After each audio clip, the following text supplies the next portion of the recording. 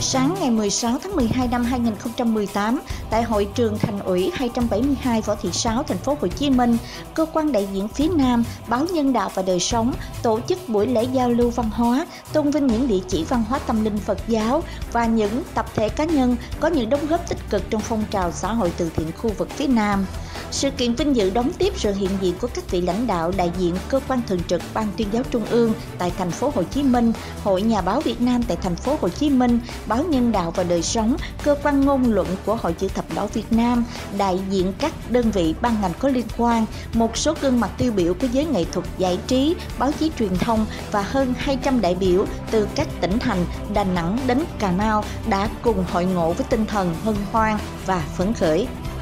ca nhạc sĩ Cindy Trần, tổng giám đốc công ty trách nhiệm hữu hạn giải trí và bất động sản Sao Việt, nữ hoàng Bestie Biển đã mở đầu chương trình với một ca khúc rộn ràng giai điệu của niềm tình yêu và rộn ràng hương sắc mùa xuân.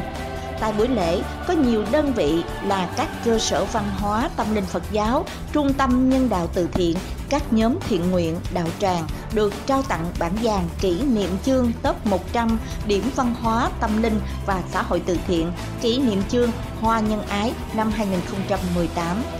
cơ quan đại diện phía Nam đã trao quyết định đề nhiệm 6 ứng cử làm đại sứ Hoa Nhân Ái, trong đó có gương mặt ca nhạc sĩ Cindy Trần.